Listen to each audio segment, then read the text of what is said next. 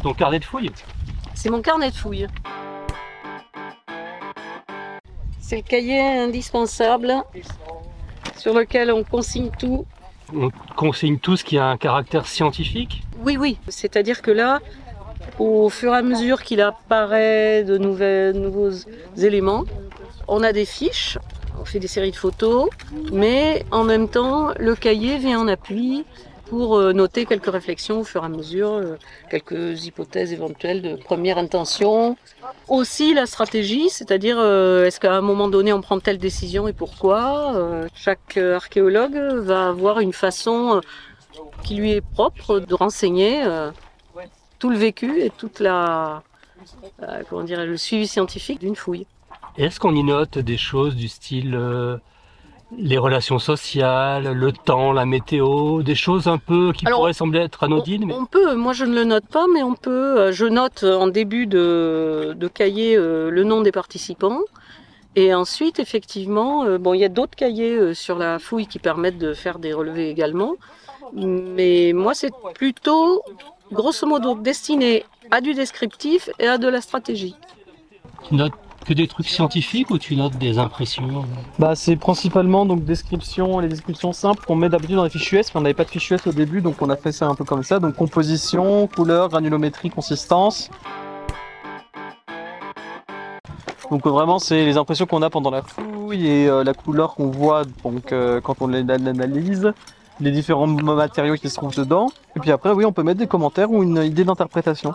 Comme ça, on se fait une idée à peu près d'à quoi ça, qu'est-ce que ça peut être exactement, à quoi on a pensé pendant la fouille.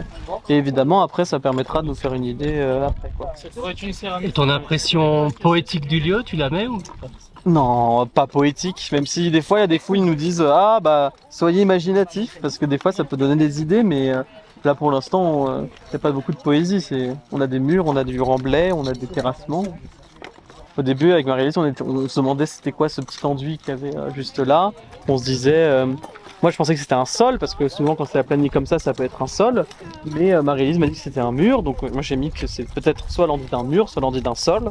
Et donc bah, à la fin de la fouille, on verra qui a eu raison. Très certainement Marie-Élise, mais il faut bien mettre les interprétations de tout le monde. Si je pense que c'est. Moi aussi, je suis d'accord pour dire que c'est un mur. Les relations sociales ou le côté anthropologique d'une fouille est extrêmement intéressant aussi. Hein. Les gens sont là sur des fouilles bénévoles comme celle-là, euh, qui sont sur des fouilles programmées, pour des raisons extrêmement différentes. Euh, il y a des étudiants qui viennent apprendre euh, à se confronter au terrain. Il y a des bénévoles qui sont là parce qu'ils avaient décidé de faire du bénévolat et qui veulent aider hein, dans une activité culturelle. Il y a des gens du secteur qui sont intéressés parce qu'il se passe quelque chose sur leur commune. C'est vrai que sur une fouille qui a un, événement donné qui a un début, une fin, il y a des relations sociales qui se créent, etc. Il faudrait quelqu'un, je pense, un ethnologue, un anthropologue, qui euh, prenne des notes pour ça. Dans le fond, mon métier à moi, c'est de, de vraiment consigner tout ce qui est scientifique et tout ce qui est observation euh, du bâti, du non bâti, de la stratigraphie, des objets, enfin du mobilier, donc hein, des décisions qu'on prend à tel ou tel moment, parce qu'il y a des tournants dans la fouille en raison des découvertes qu'on fait, et donc on essaye de, de noter pourquoi on a pris telle décision. On laisse les choses en place ou bien euh, ben, non, les non, non, non. Ouais, mais c'est physique et en plus c'est mental l'archéologie. C'est c'est à la fois on a à la fois on se retrouve à contorsionner notre corps de manière euh, pas forcément très naturelle, on prend jamais trop cette position. Euh, les rares fois où on prend cette position, c'est peut-être pour faire le ménage quand on passe la serpillière et qu'on n'a pas de manche à balai, euh, mais euh, pencher comme ça, c'est pas forcément une position très naturelle si on fait pas d'activité physique euh, régulière. Déjà physiquement, c'est quelque chose, mais en plus mentalement, il faut rajouter le tsunami de données qu'on doit prendre en compte à chaque instant.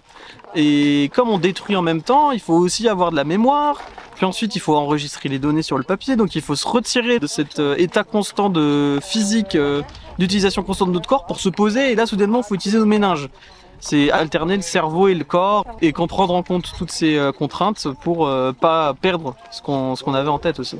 Bon, quand quelqu'un est vraiment pas à l'aise dans une euh, dans une tâche, il le dit et on essaye de, de lui trouver quelque chose de différent à faire. Il n'y a pas d'évaluation des fouilleurs. Tous les bénévoles apportent quelque chose d'utile. Des compétences qu'ils ont déjà ou des compétences qu'ils vont acquérir justement en faisant des chantiers de fouilles. C'est-à-dire d'abord, euh, nous sommes un chantier qui s'efforce d'être éthique, c'est-à-dire que on ne donne à faire à des gens que ce qu'ils sont capables de faire en fonction de leur euh, capacité physique, par exemple, aussi de ce, que sont leurs attentes également. Euh, je sens bien que les étudiants en archéologie, ils ont des attentes spécifiques, ils ont envie de diversifier les, tâches pour essayer d'acquérir des réflexes, une aptitude sur telle ou telle tâche mais on peut faire faire de tout à tout le monde. Le tout, c'est d'être pédagogue et d'expliquer euh, vraiment aux gens euh, ce qu'il faut faire, ce qu'il ne faut pas faire, d'être patient et de savoir changer quelqu'un d'activité si on sent qu'il se débrouille pas bien. Je crois que j'ai fait un peu trop grand, mais voilà, donc euh, des fois c'est aussi un peu de l'improvisation. Là, je vais l'agrandir. Je pense qu'il y a beaucoup d'archéologues là qui regarderaient ce dessin qui se diront qu'il n'est pas incroyable. mais bon. Il y a quelques années, sur le site, j'ai fait raccorder le site à un géoréférencement. Le point de référence qu'on a mis sur ce chantier n'était pas raccordé au NGF. Donc ce matin, on a raccordé ce point à un point connu qui est beaucoup plus bas sur le site. Alors là, les calculs que je vais faire consistent à avoir l'altitude absolue de ce point qui est sur la plateforme du château. On peut gagner du temps avec un tachéomètre, mais il faut qu'il soit bien, il, faut qu'il soit bien calibré, il faut qu'on ait les données, il faut qu'on puisse vérifier les données parce que si à un moment, euh, c'est un truc qu'on a problème qu'on a eu là avec nos machins, c'est qu'on avait deux tachéomètres qui sont venus, on a eu deux mesures différentes, et là on vient de faire un cheminement manuel où on a vraiment pris des points qu'on connaissait, on les a remontés jusqu'ici avec un système d'échelle et de, et de lunettes qu'on a recalibré, etc. Ouais, à l'ancienne, d'une certaine façon. D'habitude, ils font ça depuis le pied des églises. Là, on l'a fait depuis un point qu'on connaissait d'un autre téchéomètre. Donc, est-ce que lui aussi, il est précis? On est remonté. On est arrivé à ce point, un point ici qu'on avait marqué au début, qui est là-bas. Petit, bon, on ne voit pas d'ici, mais il est là-bas. Et euh, on s'est retrouvé avec une mesure qui était entre les deux mesures qui avaient fait les deux tachéomètres. Donc on a une troisième mesure, on sait toujours pas laquelle est la bonne par rapport au niveau de la mer. Maintenant, je commence à avoir de l'expérience de ce type de terrain, donc euh, sans savoir exactement ce qu'on va trouver dessous, j'ai quand même déjà quelques hypothèses de départ. Bon, la stratégie là pour l'instant est payante, donc euh, ça me paraît, il faut continuer dans ce sens-là.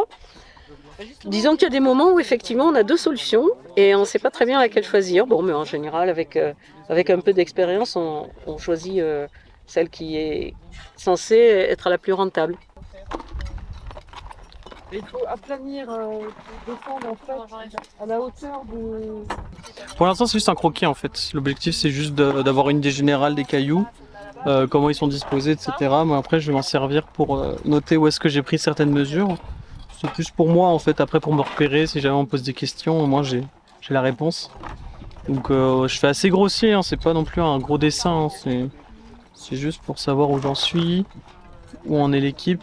J'avais déjà fait un premier dessin mais il était pas très très beau, celui-là non plus il n'est pas trop. Mais... L'important c'est juste d'avoir une idée en fait de ce qu'on a à la race des murs. Donc on essaye de faire un minimum compréhensible et puis derrière c'est les échelles etc. Là ce mur là on va en faire un relevé après un relevé précis avec euh, sur bah, pas forcément une photogrammétrie parce qu'on a le temps donc on va sûrement faire un relevé avec euh, tout un système de, de mètres et euh, de petits poids qu'on va mettre en fonction des cordes qu'on a tendues. Et en vrai on va utiliser un vrai papier quadrillé pas ce petit truc et une échelle et ce sera beaucoup plus clair. Là je pense ça c'est vraiment juste un croquis pour se repérer J'avoue, quand on dessine, on réfléchit pas spécialement, on, juste on trace des traits, mais une fois qu'on a le dessin devant nous, qu'on a le relevé, ou c'est plus on le voit plus quand on relève la coupe mais euh, aussi le relevé de plan, etc. On arrive à mieux lire en fait ce qu'on avait en face de nous, mais qu'on voyait toujours pas forcément du dessus. Là, ça nous permet vraiment d'avoir une voie de vue du dessus, en retirant un peu les détails inutiles, tout ce qui peut un peu euh, exagérer la vision, les, granules, les morceaux de paille, etc. Ça, ça corrompt un peu notre, notre vision et ça nous empêche de voir vraiment les choses simples, les formes simples qui derrière nous expriment un peu ce que euh, bah, ce qui s'est passé en fait par avant. Alors parce que ça nous débarrasse des perturbations quoi et ça permet donc de mieux voir les, euh, les mouvements du passé, les, euh, différentes, euh, les différents modes opératoires, les différents modes de placement. Par exemple, quand on fait une étude du bâti, on dessine pas au détail chaque petit trait des schistes qui sont ou des poussières qui sont agglomérées autour des schistes. On essaye vraiment de dessiner uniquement les pierres. Et grâce à ça, on peut voir certaines tailles qui diffèrent, certains détails qu'on n'avait pas remarqués avant dans leur forme ou dans leur mode de taille. Ou juste simplement dans leur agencement, ça permet d'en savoir plus. Ouais. Ah, il faut pas qu'il manque un ingrédient. Si je me trompe, euh, si je me plante ou euh, si je- j'oublie un truc, alors là, c'est la catastrophe. Enfin, on peut toujours euh, trouver une solution, mais. C'est éteint. C'est le nouveau carnet de fouilles, ça, le- le- l'ordi. C'est ça. Il faut mettre le, ton code PIN. J'ai oublié mon portable chez moi ce matin. Je suis désolée. Alors pour l'instant je mets elle semble superposée à 12 0 14. Tu l'as 17 ou pas? Je l'ai. C'est la petite, c'est le truc de chaud euh, virulent là, donc euh, Ah oui. granule de chaud, couleur blanche. couche de granules de chaud plus cailloutis Ouais.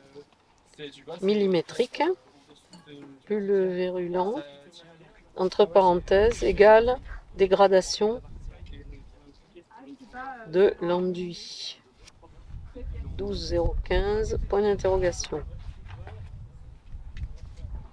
Ok. Donc il faut que tu mesures l'épaisseur de l'enduit, Ouais. épaisseur euh, moyen, et il faut, euh, qu'est-ce qu'on a dit? Ah oui, donner un nom d'UC au mur. Alors on va dire UC 12018, US construite. Donc ça, on, on va le décrire un petit peu, hein, le US 018, je viens, et on, va le regarder ensemble. Quoi, ouais C'est C ça, ouais. Ah, c'est Ouais. la 12 Ouais. La Ok. 12. Ouais, les- l'US. Oui. Oui, non. Si, non, si. maintenant vous êtes à la 13. Ils sont à la 13 maintenant. Ouais, vous êtes à la 13 maintenant. Oui, oui, c'est la 13.